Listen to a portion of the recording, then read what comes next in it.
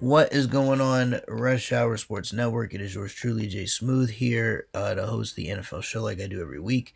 And joining me as always uh, is co host B Money. What's going on, sir? What's up, fam? Back in the crib. Yeah, man, great to have you back. Great to have you back. We are here to cover yet another week in the NFL. This week was weird, though, because uh, technically it didn't end until yesterday. Usually all the games are done by Monday, but uh, yesterday was the final pair of games in the week in a very weird week, shall we say. But going through all the scores, starting on Thursday night, back on the 16th, uh, Kansas City defeated the Chargers 34 to 28. That one went to overtime. Very close divisional battle, actually, between these two teams. One of the better Thursday night games, uh, actually, of the entire season. And once again, man, Chargers putting up a good effort, but they came up short, and it's pretty clear that Kansas City still runs that division. I, would say that's probably the lesson of the night there. Yeah, I mean, Kansas City's the they're the hottest team in the NFL to me. Like they're they're looking scary. Yeah, man, it's it's that time of the year where they start to buckle down. They start winning games that actually matter and really they start to play like a unit and it's going to spell it's it's already spelling trouble for all the other teams. Yeah. And then on saturday night we had uh, we were supposed to have supposed to have two games but we ended up having one game saturday and that was the the colts and the patriots.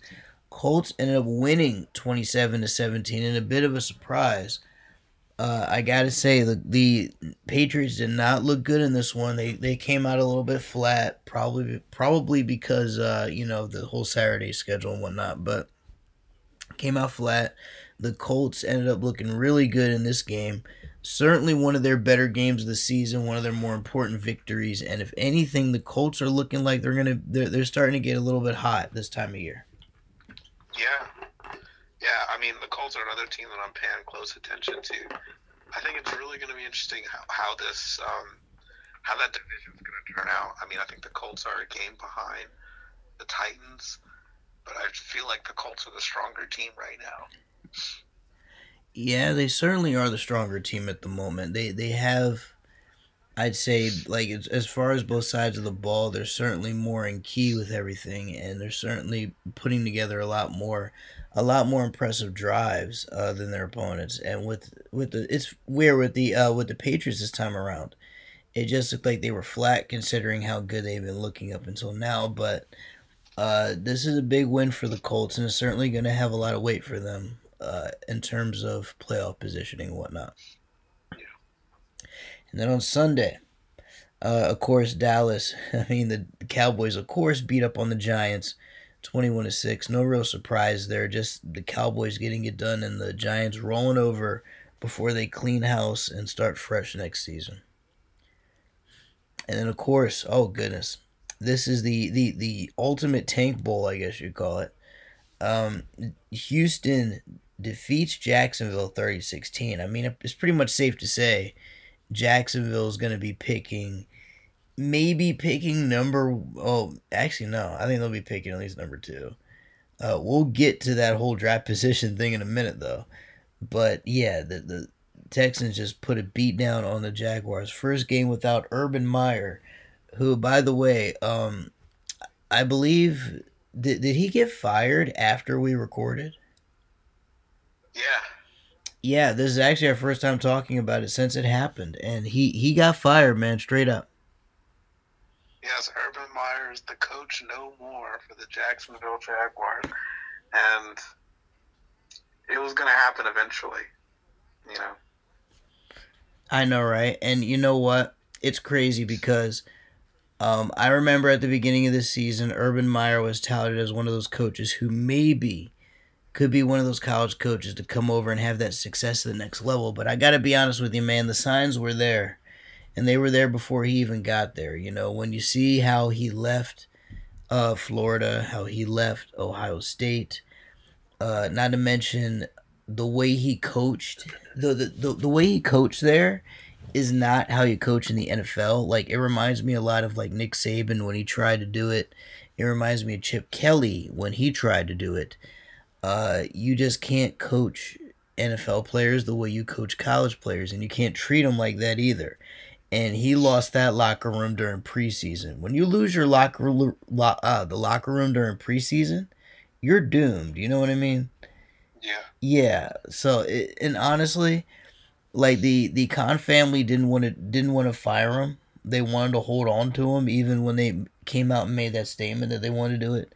But ultimately, the heat was just too much, man. And then when that kicker came out about Urban Meyer kicking him in his injured leg during warmups and like a preseason game, it's that like yeah, it's like you just right. It's like you Oh, just goodness. you just cannot do that. Like how how does a fight not break out right there? Is my question. But my my wasn't it something where Marvin Jones, like him and, Yes. Co- and Urban Meyer came to blows or almost came to blows? They did, and I believe they benched. Uh, they benched somebody on the team, and Marvin Jones was pissed off about it. And he's usually a guy that doesn't get angry, so like the like Urban Meyer really went like above and beyond to do that. Not to mention he called all of his assistant coaches losers, which is like, what are you doing? he's calling his own staff losers Yeah. it's like what what are you doing urban? And mind you this is in addition to the thing where he ditched his team after that loss in cincinnati. I think it was cincinnati or cleveland uh, where he went to the bar uh, his own bar and he put on his ohio state gear just so he can uh, mix in with some of the college girls. It's like what are you doing? What are you doing? He was not about it, and I feel like you called it early too. Yeah, man. It, it and and the only reason why I kind of felt this happening is because the stuff he did at Ohio State was sleazy, and the stuff he did at Florida was sleazy. Like against Maryland, when he faked having a heart attack, and it actually was revealed that he faked having a heart attack, and, and, until he had a real one, of course, later on. But it's like this guy's just got too many red flags. Not to mention, you do realize he's the same guy that covered up for Aaron Hernandez when he played in Florida, right? Yeah, he had remember he had Tim Tebow and Aaron Hernandez on that Florida team when they won the national title. That man knew everything Aaron Hernandez did in college and said nothing about it. So again, yeah, that's what I mean, man. When you when you piece together Urban's track record from Florida to Ohio State to now, it's just too many too many red flags with the guy and his behavior, his arrogant behavior carried over to the pros. And yeah, it's just a lesson of you got to be careful of what college coach you get. And I- and by the way, here's some good news though for the Jaguars. One of the early candidates for that coaching job that I think makes all sense in the world is Byron Leftwich. Yeah, They want I him. mean, it makes a lot of sense. It does. They want him from the Bucs. He's a big candidate. Of course, I want to see somebody like Eric Bieniemy finally get a head coaching job. But if the Jaguars are going to go in the direction of a rebuild, go with somebody that's familiar with the franchise, plus some plus a former quarterback that can help develop Trevor Lawrence because he's clearly the star of that team if when used properly. So Yeah, the Jaguars have a good future, but yeah, man, I'll tell you what. What what's crazy about Urban Meyer is he's gonna find his way back in college.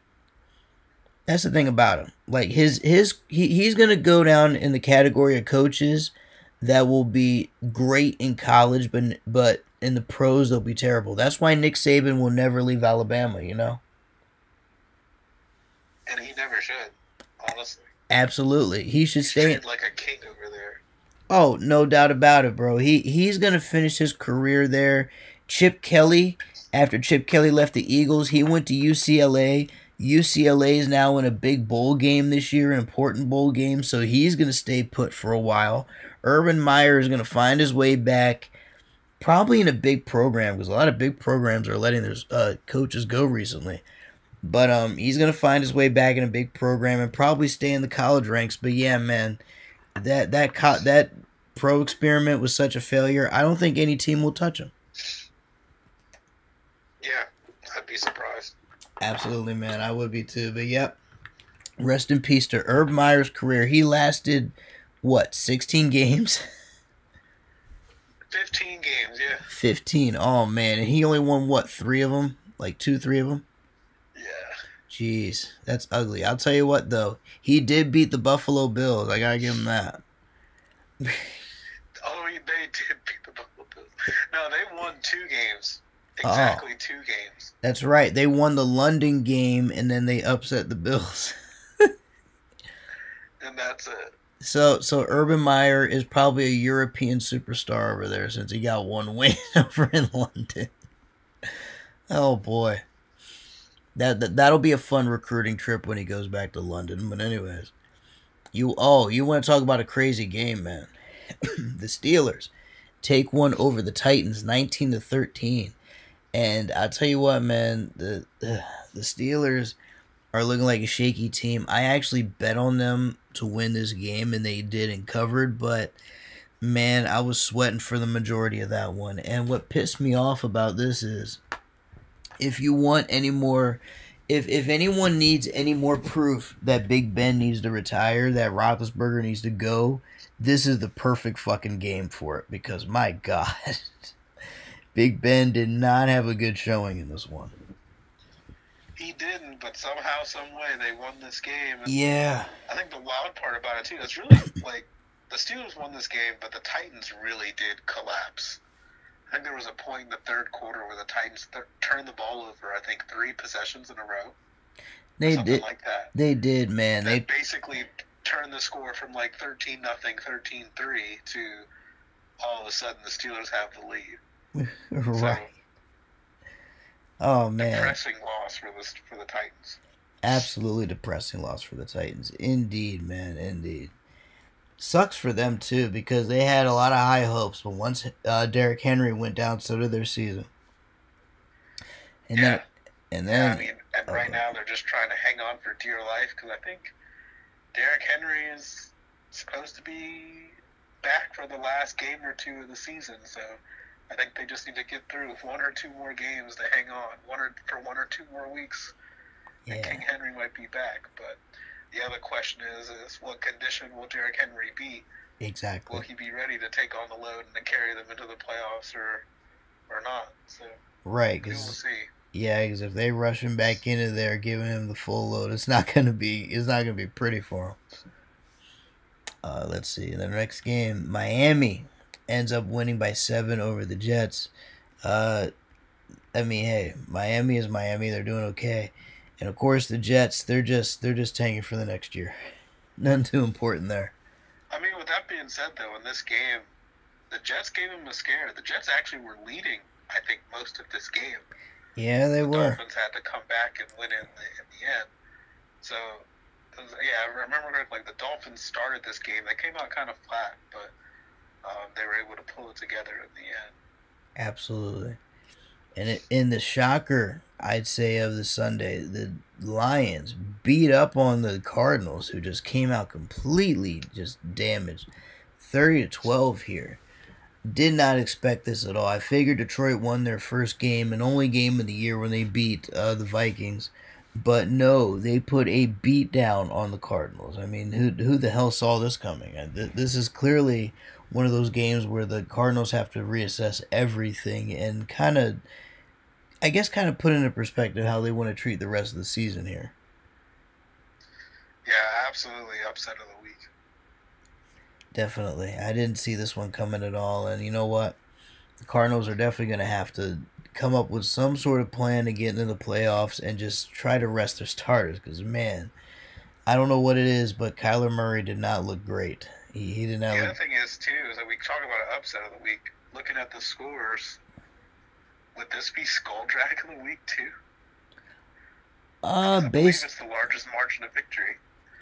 Technically, it is. Well, yeah, that's true because it is larger than Buffalo and Carolina. And, of course, it's larger than the 49ers and Atlanta. So I think, yeah, I think this does qualify as Skull Drag of the week. It is a larger margin than Houston and Jacksonville as well. So, yeah, I think this does qualify. And not only so yeah, it's upset of the week and it's skull drag of the week. And honestly, who the hell saw this coming other than the crazy degenerate gamblers that thought Detroit would win this shit, even though clearly they wouldn't. Nobody really thought they would. It just, it just makes no sense, man. It's one of those surprise wins that shouldn't have happened, but here we are. My goodness. I will say though, Detroit's got a lot of fight in them for a team that pretty much should be bottoming out the rest of the year. It doesn't make any sense, but hey, I guess that's Dan Campbell, right? He's gonna bite kneecaps while he's at rock bottom. It's good. Yeah, I mean the only thing is now for Detroit, if they're not careful, they're gonna lose the first overall pick. Yeah, that's the thing they need to worry about. Somebody needs to remind Dan Campbell that they need that pick. they right. need they need it. I hope. Like now they have two wins, but you know the Jaguars only got two wins too, and now they don't have a coach. So exactly. So fucking the Ford family better tell his ass to bottom out the rest of the year. Exactly. Just just lay down and take the losses. Let's see. We have Buffalo beating up on Carolina, thirty-one to fourteen. We can pretty much put Carolina in the dirt. We could have put them in the dirt weeks ago, but game like this definitely puts them there. Buffalo gets a much needed uh, kick in the face win that they needed for their season. Hopefully they could put together some more. But yeah, a uh, big win for the Bills. Uh, Cincinnati, very close margin of victory win over the Broncos here, fifteen to ten. And I gotta say, man. I don't know what it is. I think some teams maybe have figured Cincinnati out, or maybe Cincinnati's slowing down themselves, but uh, even when they're winning, man, I remember when they were putting up 41 points on other teams earlier in the earlier in the season, and now they're they're just limping by to get a victory. They're limping to the finish line. Yeah, and the added big news about this game was Teddy Bridgewater was hospitalized. I believe it was in the second quarter. Yeah, he got knocked the hell out. I didn't see I didn't see it, but I read about it. Apparently, he got hit really hard on the ground and he was sent off. Yes. So hopefully he's fine. By the way, Teddy has had, I think, an injury like that before. So I hope that's not a career ender. I remember in Minnesota, that motherfucker was taking all sorts of hits for the squad. Yeah. Good on him, though. He's tough as hell. Uh, 49ers beat up on the Falcons 31 13. I mean, hey, don't blink now, man. The 49ers and, and you and I talked about it before. They're looking more and more scary each week. And like and hey, you said it yourself. They're gonna be must watch. And actually, it's funny, must watch. They are the Thursday night game this coming week, playing tomorrow. So boy, the, the spotlight is shining bright on them right now. Certainly can't wait to see what the 49ers are gonna do. That they're certainly a team I think can sneak into the playoffs as a wild card. Uh, they're certainly putting up a much better fight than everybody else in that division. Uh, in a very close game, game of the week for America's game of the week. Uh, Green Bay beat Baltimore 31 to 30. The Ravens lose despite a career heroic effort from Tyler Huntley, uh, and despite hanging in with Aaron Rodgers and putting up one hell of an effort. Uh, the Ravens, yet again, go for two and decide to go for the win, but ultimately fall short. And it's heartbreaking because it's happened more than once. And the Ravens are now 2 and 8 on two point conversions this season, which is not very good. Not very good at all. And then, of course, you know, the added situation this is now three weeks in a row that the Ravens have lost close games. Of course, you mentioned losing to the Steelers a couple weeks ago, and this one by two point conversions. And then last week they lose to Cleveland um, um, on their last possession, having a chance to go down and win it, and coming up short on the final drive. Um, so three losses in a row for Baltimore now actually kicks them out of the playoffs if the season ends today. Um, nevertheless, though, big kudos to Tyler Huntley putting on a truly memorable performance. It was almost as if, you know, you didn't need Lamar Jackson out there, that he put up what you would probably expect Lamar to do. Um, but again, it still ends up as a, as a loss for the Ravens, and the Packers get a win, a huge win for them, too, as, as they become the first team to clinch their division this season. This Absolutely, this is a huge win for the Packers, and yeah, the Ravens are now gonna. Uh, this is funny. The Ravens are certainly gonna find their way in, but yeah, if playoffs started today, they would find themselves on the couch, and that sucks. So they're gonna have to find. They're they're now in a situation where pretty much if they win out, they control everything. So the ball is now in their hands to get some wins and not choke when it matters the most. And in our nightcap for Sunday, the Buccaneers get shut out by a New Orleans team that didn't have Sean Payton and had, I'd say, Tim Tebow 2.0 throwing the ball out there. Uh, 9 nothing. My goodness, Taysom Hill is awful. I don't know why they paid him all that money. I don't know why they thought he'd be a quarterback. Uh, if they had this much of a dilemma, then they should have just made the man a running back because he can run better than he throws. That is for damn sure. The man is Tim Tebow out there. And somehow Tim Tebow 2.0 beat Tom Brady, and Tom didn't put up a single point. And by the way, uh, the Buccaneers get AB back, which they do need, despite because they lost Chris Godwin for the year due to a torn ACL, and they also signed Le'Veon Bell, who uh, is fresh from getting cut from the Ravens and fresh from calling out Jake Paul to a boxing match after Jake Paul knocked out a UFC champion. Still can't believe that happened. What the hell? Um, yeah, that very weird 24 hours for Le'Veon Bell. The man was going to box, and now he's going to uh, run for the Buccaneers for the rest of the year.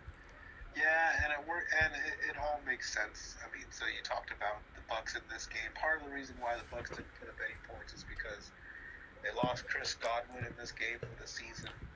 Um, they lost Fournette at too. one point in the second half, Mike Evans went down and he did not return. Yes. Um, and Leonard Fournette went down and he also did not return. So Yes. And Le'Veon Bell's going to replace Fournette moving forward, and of course they they're going to get Antonio Brown back from injury. There are some questions whether or not they were going to cut him based on the circumstances of his suspension, but now they need him, so I don't think that's going to happen. yeah, Bruce Arians had to walk back on his own word because they needed. Um, yeah, and it's just it's sad because Arians has to walk back his own words of saying, "Oh, AB, one more strike and you're out," but he's only walking back on it because he doesn't have a choice. Exactly. His hands are tied.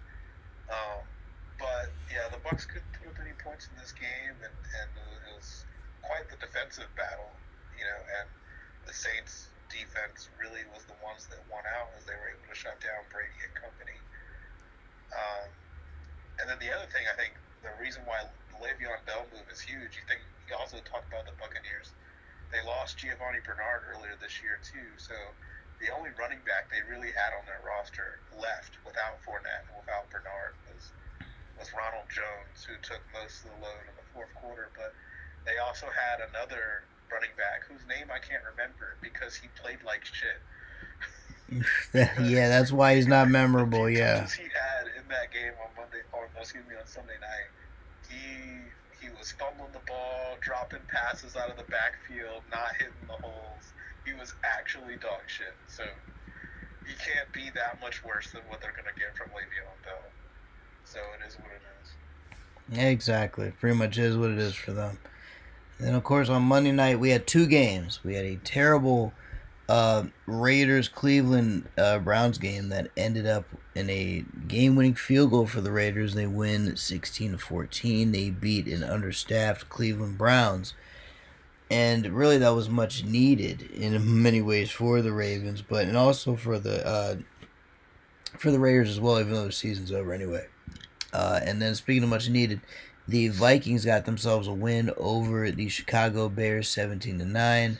Uh, good performance all around from the Vikings, and of course from the Bears. They are as bad as expected, bad enough to Oh, give so the. depressing to watch from the Bears. Oh my goodness. I mean, listen, the kicker should have been cut that day when I wanted him cut. Nagy should have been fired at Thanksgiving. You know what I mean? That whole team should have been blown up. The only good player on there is Fields, and he's being wasted because he has a shit coach and a shit team to work with, and it's it's terrible to watch. And then on Monday night, uh, I'm sorry, Tuesday night, in a very weird Tuesday night game, the uh, Rams beat the Seahawks in a game that was only available to be seen on the West Coast, 20 to 10. uh, the Rams, Cooper Kupp uh, pretty much was the star of this and stole the whole damn show. He essentially carried them right to victory. Uh, and then the Washington football team uh, essentially get eaten alive by the Philly Birds, twenty-seven to seventeen. Uh, they the, the Washington team was racked with so many COVID, uh, so many COVID players on the list that they ended up dragging a Patriots practice squad quarterback off the couch and he nearly beat the Eagles in the first half, but in the second half, the Eagles woke up and said, "Wait a minute, we're not supposed to lose to this bum," uh, and they started playing football, and they ended up winning by ten. So good for the Eagles. But that that whole division is garbage, though. The the, the Cowboys are going to run away with that most likely.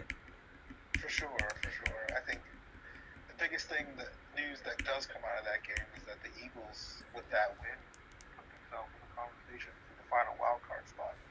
Yes, they do. And honestly, they should take it because Washington sucks. I mean, they had that good little streak there, but uh, reality is set in for them. And uh, at this point, I don't know if that team's going to be able to hold up, even if they do go to the playoffs.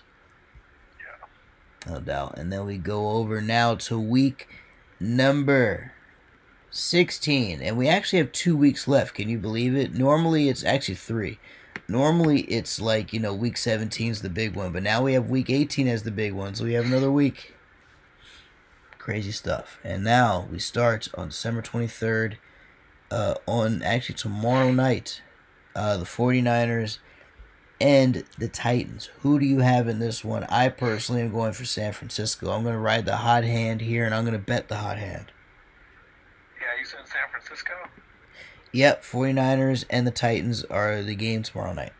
Yeah, I am picking the Niners as well. Nice. Yeah, I mean, the, the Titans are, are, again, just trying to survive, dragging their feet without King Henry. I think the Niners are, are starting to, to figure, figure their team out. And they have a chance, I think, if they win this game, to, to really solidify themselves into a wild card spot for the playoffs. So I think it's a huge game for the Niners to win. I agree. It's going to be a big one for the Niners, no doubt about that. Then, of course, Saturday, we have on the 25th, on Christmas Day, uh, the Browns will be playing the Green Bay Packers at 4:30 Christmas Day. I believe the Browns will have Baker Mayfield back, uh, along with many others they were losing, including their coach Kevin Stefanski. But they're going to Green Bay and they're going to Lambeau Field to play Aaron Rodgers on Christmas. Give me the Packers all day, every day. Who you got? Yeah, they may get everybody back, but it won't be enough to beat the Packers. The Packers are still they keep finding ways ways to win, so I'm picking the Packers. Good stuff. Uh, let's see, eight fifteen. We have the Colts, and we have the Cardinals. Uh, of course, on Christmas night. This is going to be a very good game. The Cardinals just got humiliated by the Lions, and the Colts, fresh off that big win over the Patriots. You know what? Uh, I think the Cardinals are going to come in pissed off. I think they're going to I think they're going to push around Indy a little bit at home. What do you think? I think this game has the potential to be the game of the week. I think The so. everyone should be watching. And it's very fitting that it's on Christmas night for all of us to see. I agree, man. This this is like this is like you said. Not only is it the best game of the week, the fact that we get a Christmas night is like an extra Christmas present for our football fans. Yeah, and both of these games on Christmas Day should be good. Um, you said you picked the Cardinals to win this game.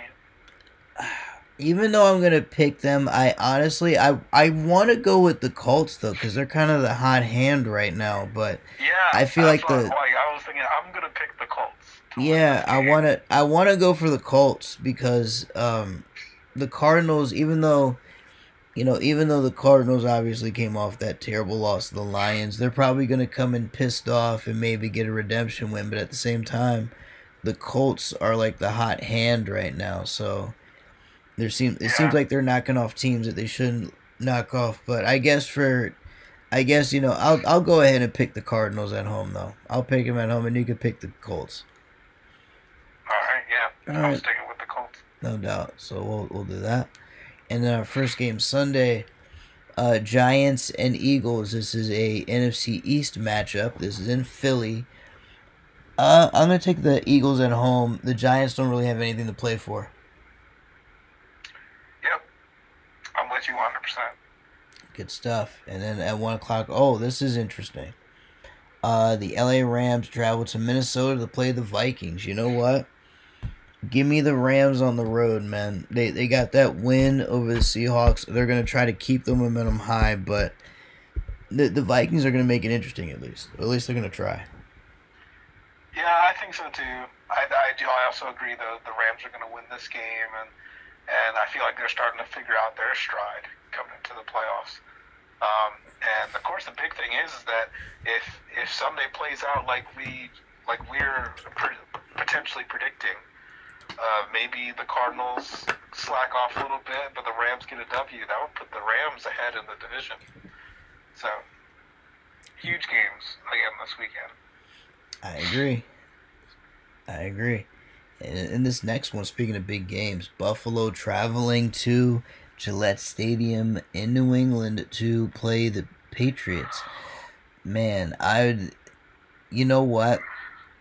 New England admitted that they came out flat on a Saturday. Was one of their better weeks. I think they rebound this week and get a big uh, a big win at home. Give me the Patriots on this one. Who you got? I'm gonna pick the Bills. Okay.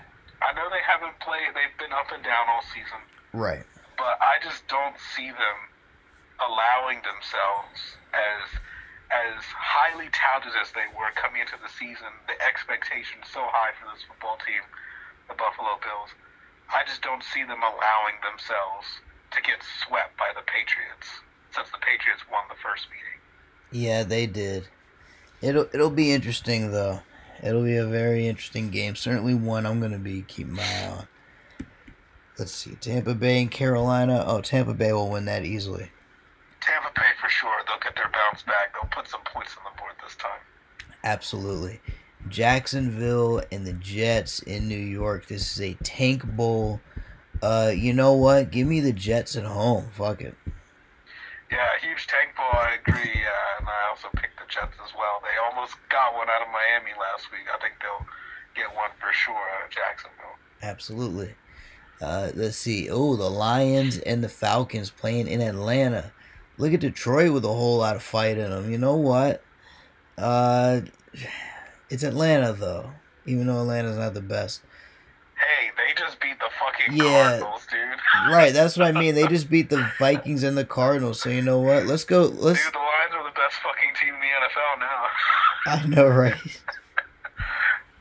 Beating up the best, like literally the best team in the whole league. You know what? Give me Detroit. They should be tanking this, but I have a feeling Dan Campbell's crazy ass won't do it. Give me Detroit. I'm with it. I'm with it. I picked Detroit as well. This would totally screw up their tank, especially if Jacksonville loses. But like, yeah, I'm I'm, I'm on the Detroit train too. this would be typical Detroit, man. Oh my goodness. Oh my goodness. And then of course we have the LA Chargers going to Houston to play the Texans. Oh, the Chargers will probably skull drag. It might be skull drag of the week. Right there. Yeah, I think so too. Oh, very interesting match of the last one o'clock game on the slate. One you and I are gonna watch. The Ravens and the Bengals. This is a huge game right here. Both both teams really need this. Baltimore. Both teams need this, and in yeah. my eyes, this game could very well end up deciding who wins the division. I was just thinking that too. I think whoever wins this is going to take the whole thing. You know what? We we don't quite know who's going to be starting a quarterback for the Ravens, but honestly, after what I saw from Tyler, I don't think it matters. Give me the Ravens. Yeah, you know, yeah, I was going to say the same thing. Is that like we're not sure what Lamar Jackson's status is. We do know that he still has not practiced. Right. Um, so we don't know what's going on there, but you know, based on every appearance that Tyler Huntley has had this season, not just last week against Green Bay, but you know, he was he was the reason why the Ravens came back in that game against Cleveland a couple weeks ago, even though they couldn't get the win. And plus, and, and plus, he did get a win earlier this season. Yeah, I was about Chicago. to. Yeah, I was about to say you um, you actually were in Chicago when he got that win, so you've seen him play up close. Yeah, so he he's he's done some good things this season in the three games that he's played in. Um, so I, to a point where it almost doesn't really matter who's the quarterback. I think the question is going to be what what Bengals team are we going to get? Are they going to come out flat like they've been the past few weeks, or or are they going to be the team that that was opening eyes earlier in the year? Um, and you know the ball's in their court for Cincinnati. This game being in Cincinnati, and the Ravens, of course, being beat up, COVID or not, they're just beat up all over the, the field at every position. Um, I like to think though that the Ravens are still going to come in and and they're going to fight and as they always have. Um, and I think furthermore, this game is also I, I think a sense of pride where I feel like the Ravens may not allow themselves to get swept by the Bengals this season. So I think the Ravens are going to win too. Okay, so we both got the Ravens on that one. Going to the four o'clock games. We have the Bears traveling to Seattle to play the Seahawks. I'm going to take the Seahawks at home. Seattle, I'm with it. Absolutely. Bears are going to fall apart. Oh, this is going to be a big one right here. Pittsburgh travels to Kansas City to play the Chiefs. Give me the Chiefs at home, though. Yeah, I'm with you 100%. Give me the Chiefs. And hopefully it's not even close. All right. That's the other thing I was thinking. Hopefully, it's not a close one. Uh, let's see, four o'clock. We have Denver uh, traveling to Las Vegas to play the Raiders. You know what? Give me the Raiders at home, man, in the Black Hole. Fuck it. Yeah, both teams come in at seven and seven. I think potentially the biggest difference in this game is that you don't expect the Broncos to have Teddy Bridgewater. It'll be Drew Lock time.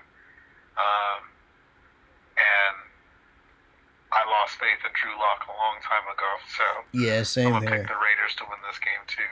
I feel the same way, man. Then of course, 8:30 p.m. on NBC, a very critical uh, NFC matchup. Uh, the Washington football team travels to Dallas, play the Cowboys at Jerry's World. I am going to take the Cowboys at home this time, though. Of course, they beat them the first time in a very close game, but I think Washington is going to get their players back. But even so, the only difference this time is that once again they're going to make it close and they're going to play Cal Dallas tough, but in the end, uh, Dallas is going to pull away. Yeah, I think it'll be a close game too. Especially because I feel like in the last few weeks, granted they they won decisively against the Giants last week, but I feel like the last few weeks the Cowboys have kind of been playing down to their competition. Yes, they have. So like I wouldn't be surprised if this game's close, or even if Washington sneaks one out. But I think Dallas is going to win. Absolutely, I'm feeling the same way, man. And then Monday night, the Dolphins travel to New Orleans to play the Saints. You know what?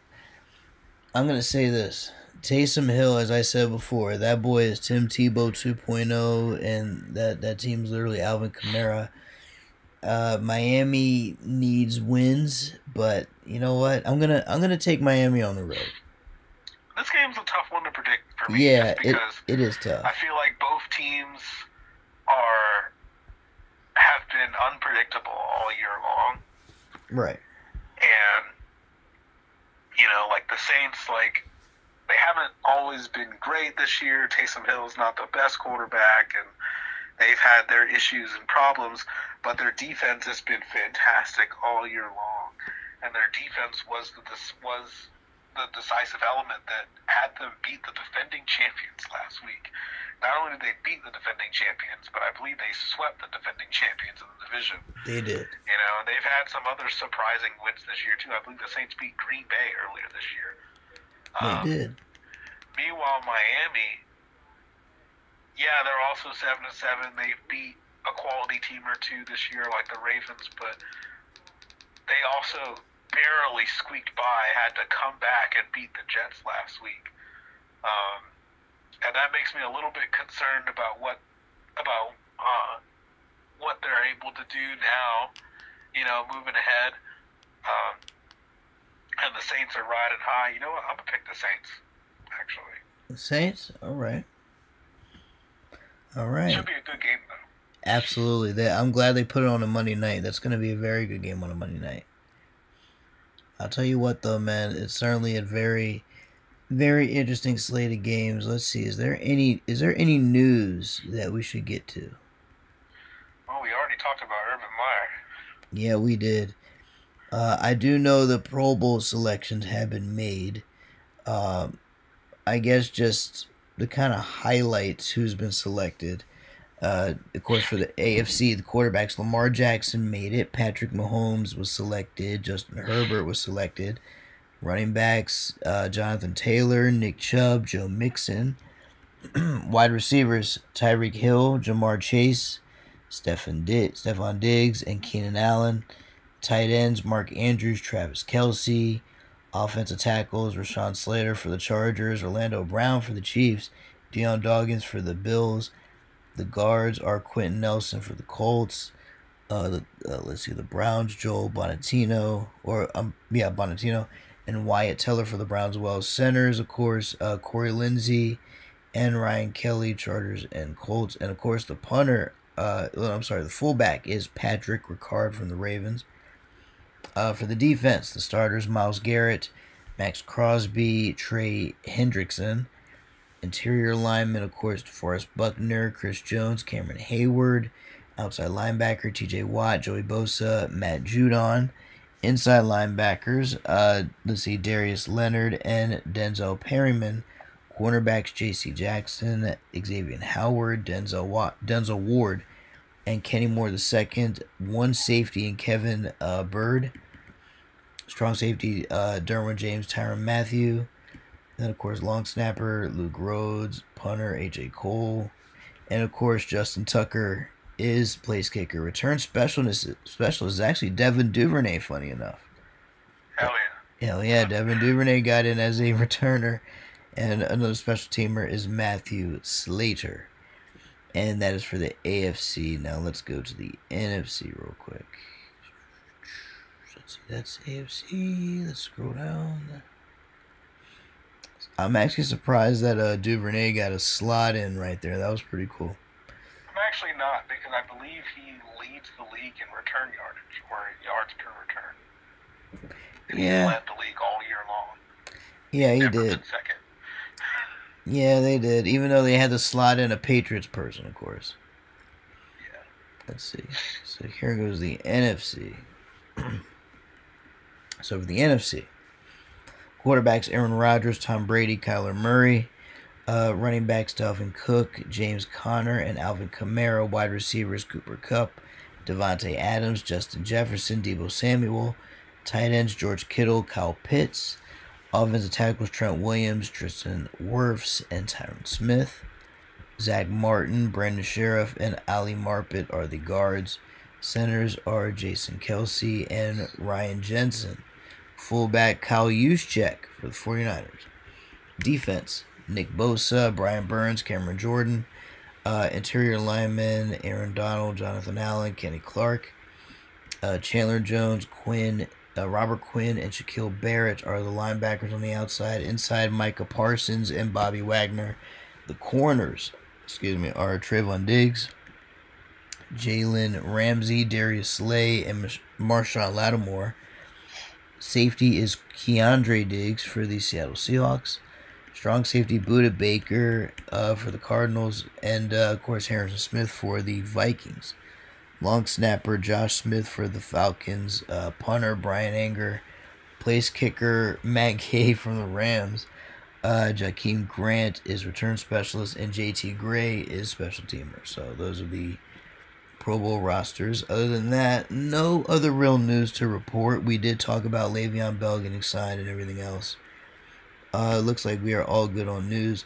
But yeah, folks, uh, we're pretty much getting down to it now. This is essentially like we're we're in what week 16. So really, we have this week and then two more weeks after. So season's winding down fast, folks. Make sure you get in on the playoff race.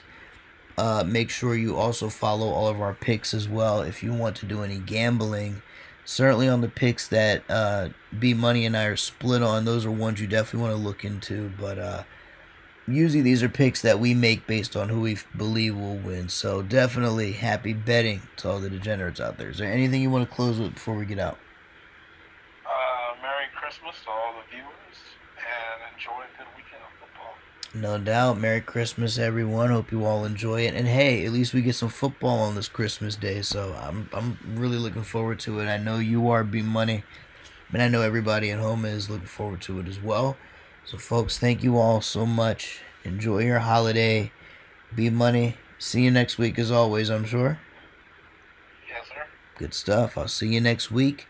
Cover all the madness. And, folks, I will see you next week alongside them. And until then, we are gone.